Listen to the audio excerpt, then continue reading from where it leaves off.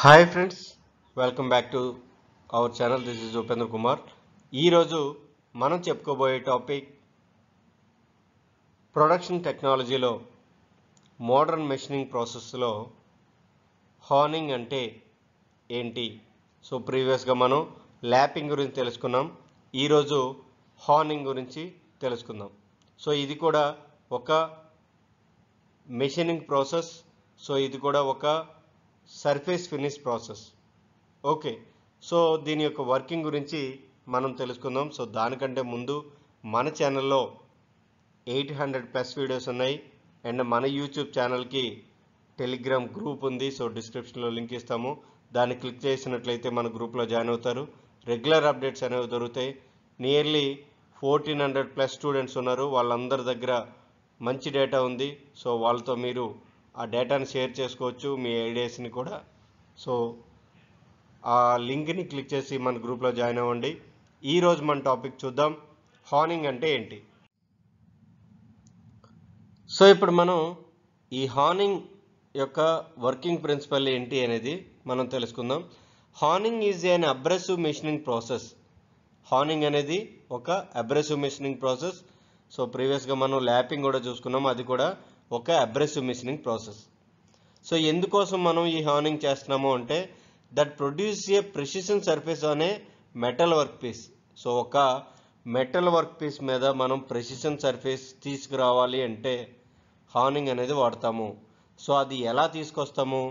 By scrubbing an abrasive grinding stone or grinding wheel against it along a control path అంటే ఒక metal work piece మీద మనం ఒక abrasive grinding స్టోన్ని లేదా grinding వీల్ని scrubbing చేస్తే ఆ మెటల్ వర్క్ పీస్ మీద అది ఎలా? ఒక కంట్రోల్డ్ పాత్లో మనం దాన్ని స్క్రబ్బింగ్ చేసినట్లయితే దాన్ని హార్నింగ్ ప్రాసెస్ అంటాం. సో అప్పుడు ఏమవుతుంది? మనకి ఆ మెటీరియల్ అనేది చాలా నీట్గా రిమూవ్ అయ్యి మనకి ఏమవుతుందంటే హై యాక్యురసీ అనేది వస్తుంది. Honing is primarily used to improve the geometric form of a surface so మనం ఆ geometric form of a surface ఏదైతే ఉందో దాని యొక్క జామెట్రిక్ ఫామ్ని ఇంప్రూవ్ చేయడానికి హార్నింగ్ అనేది ఫస్ట్ వాడతాం. సో దాంతోపాటు but can also improve the surface finish so ఇక్కడ ఈ జామెట్రిక్ ఫామ్ అంటే ఇక్కడ ఒక ఒక సిలిండర్ ఉంది. హాలో సిలిండర్ ఉంది. మన ఈ హాలో సిలిండర్లో మెటీరియల్ అనేది తీయాలి. సో తీయాల్సి వచ్చినప్పుడు ఈ హార్నింగ్ అనేది వాడతాము. ఎప్పుడైతే ఈ హార్నింగ్ టూల్ వాడామో అక్కడ ఏమవుతుందంటే సర్ఫేస్ ఫినిష్ కూడా ఆటోమేటిక్గా వచ్చేస్తుంది. ఓకే సో ఇక్కడ చూసినట్లయితే ఇదంతా కూడా హార్నింగ్ టూల్. ఓకే సో ఇక్కడ ఈ విధంగా మనం మిషన్ చేయొచ్చు. అండ్ ఈ టూల్ అనేది ఇలా తిరుగుతుంది. సో రౌండ్గా కూడా మనం మెషినింగ్ అనేది తీసుకోవచ్చు. సో అక్కడ రెండు కూడా మనకి సర్ఫేస్ ఫినిష్ వస్తుంది మెటల్ రిమూవల్ కూడా వస్తుంది. Both up and down movement and round movement. Okay. So ఇది హార్నింగ్ యొక్క డెఫినేషన్. సో ఇక్కడ మనం చూసినట్లయితే ఒక ఎగ్జాంపుల్ సో వీడియో ఇది. సో రియల్ పిక్చర్ ఒక ఇంజిన్ యొక్క సిలిండర్ బోర్ ఏదైతే ఉందో దాన్ని మనం హార్నింగ్ చేస్తున్నాము. సో చూసారు కదా? సో మనం కూలెంట్ స్టార్ట్ చేసిన తర్వాత అక్కడ మిషన్ అనేది స్టార్ట్ అయింది. సో ఈ రౌండ్ మూమెంట్ ఉంది అండ్ అదేవిధంగా ఈ అప్ అండ్ డౌన్ మూమెంట్ కూడా మనం ఇక్కడ చూడొచ్చు. Okay. So honing is a machining process in which and abrasive cutting tool is use to produce a very fine surface so మనం ఆల్రెడీ చెప్పుకున్నాం కదా ఫైన్ సర్ఫేస్ ఏదైతే ఉందో దాన్ని ప్రొడ్యూస్ చేయడానికి ఈ అబ్రెసివ్ కటింగ్ టూల్ అనేది వాడతాము. The final smooth profile of a bore was produced by honing with a fine stone so మనం ఇక్కడ ఆ మొత్తం ఫస్ట్ రఫింగ్ అయిపోయిన తర్వాత ఒక ఫైన్ స్టోన్ అనేది ఉంటుంది. సో దాని ద్వారా ఇంత స్మూత్గా ఆ హోల్స్ అనేవి వస్తూ ఉంటాయి. Honing is done with rigid mounted adjustable stones and is used to make the bore more accurate than boring can so మనం ఏదైతే హార్నింగ్ ఉందో ఆ హార్నింగ్ టూల్ ద్వారా ఈ హోల్స్ అనేవి అంటే బోర్స్ అనేవి చాలా చాలా యాక్యురేట్గా మనం తయారు చేయొచ్చు. ఓకే. సో ఇది హార్నింగ్ టూలు. సో ఇక్కడ చూసారు కదా ఇవన్నీ కూడా అబ్రెసివ్ లైన్స్ సో ఇది ఈ హోల్లో మనకి తిరుగుతూ మిషనింగ్ అనేది అవుతూ ఉంటుంది. ఓకే. సో ఇక్కడ మనం అడ్వాంటేజ్కి వచ్చేసరికి హార్నింగ్ యొక్క అడ్వాంటేజ్ అండ్ డిసడ్వాంటేజ్లో అడ్వాంటేజ్కి వచ్చేసరికి less complex or low cost fixtures. So ఇవి కాంప్లెక్సిటీ అంటే దాని యొక్క సైజు కానీ దాన్ని హ్యాండిల్ చేయడం కానీ చాలా చాలా తక్కువ. అంటే అంత డిఫికల్ట్ అయితే కాదు. And low cost fixtures. So అవి ఫిక్స్ చేయడానికి కూడా కాస్ట్ అనేది తక్కువ అవుతుంది ఆ ఫిక్సర్ కొనడానికి. Next it is highly accurate. So మనం అనుకున్నాం కదా దాని యొక్క యాక్యురసీ అనేది చాలా చాలా high.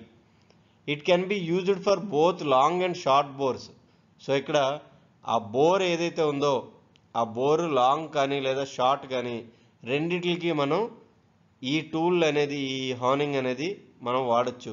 ఎందుకు అంటే మనం హార్నింగ్ టూల్ అనేది ఇలా వెర్టికల్గా ఇలాగా డౌన్కి వెళ్తుంది.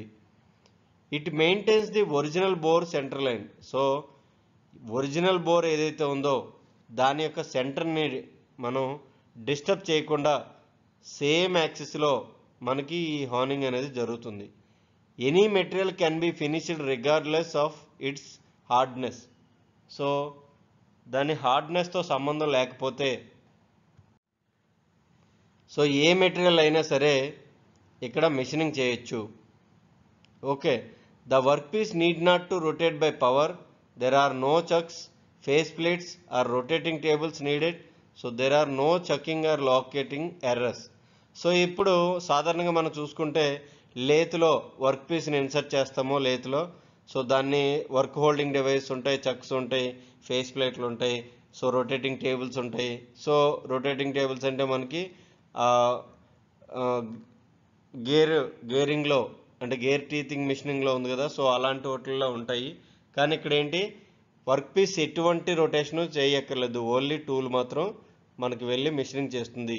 The hone is driven from a central shaft so bending of the shaft cannot be causes tapered holes as it is does when the boring so ఇక్కడ ఈ హార్న్ అనేది మనం ఇందా చూసాం కదా డైరెక్ట్గా ఏదైతే సెంటర్ షాఫ్ట్ ఉందో దానికి అటాచ్ అయి ఉంటుంది. సో అందువల్ల మనకు బెండింగ్ ఆఫ్ ది షాఫ్ట్ కూడా ఉండదు.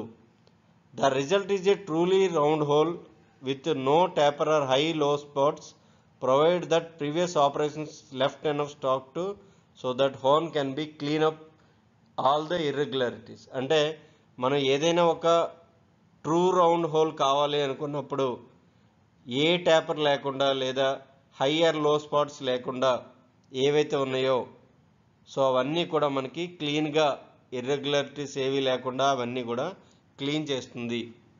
ఇది హార్నింగ్ యొక్క అడ్వాంటేజ్ ఇప్పుడు ప్రతిదానికి అడ్వాంటేజ్ ఉన్నప్పుడు డిసడ్వాంటేజ్ కూడా ఉంటుంది. దానిలో లిమిటేషన్స్ అంటున్నాము. సో అదేంటి? అంటే limitations of honing process honing is thought of as a slow process so ఇది కూడా slow process okay however new machines and stones have short and hone times considerably అంటే ఏవైతే న్యూ మిషన్స్ ఉన్నాయో okay ఆ stones short hones times ఉన్నాయి. అంటే shortest types ఉంటాయి. New machines వచ్చినవి.